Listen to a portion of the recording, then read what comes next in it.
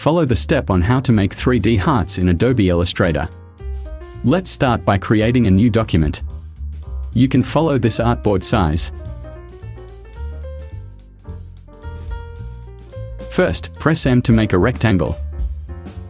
Create 200 by 200. And then, make a circle with the same size.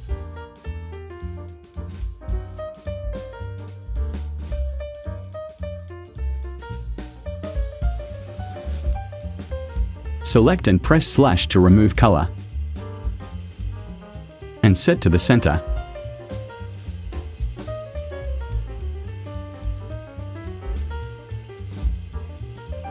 Copy this. And move this. Select Pathfinder and click Unite. Rotate.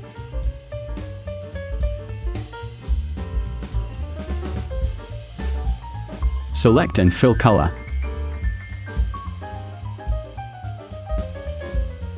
Don't forget to remove the stroke. Select. Go to Effect. 3D and extrude. Check Preview. Set Extrude 200. Blend Step 100. Surface diffuse shading. Ambient light 60%. Change these to rounded bevels.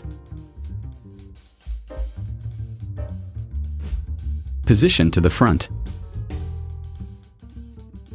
And set height 99.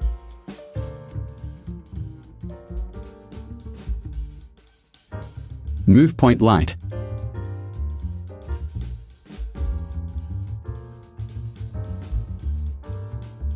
And click OK.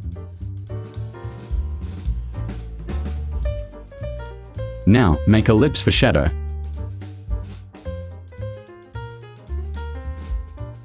Add gradient.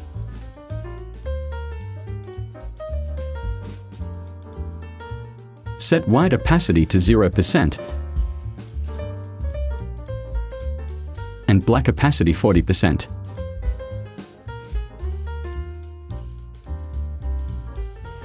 Press G to edit.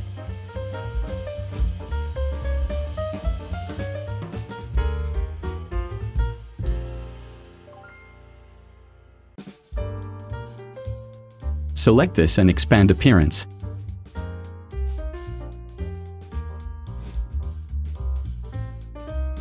And group. Now you can copy this.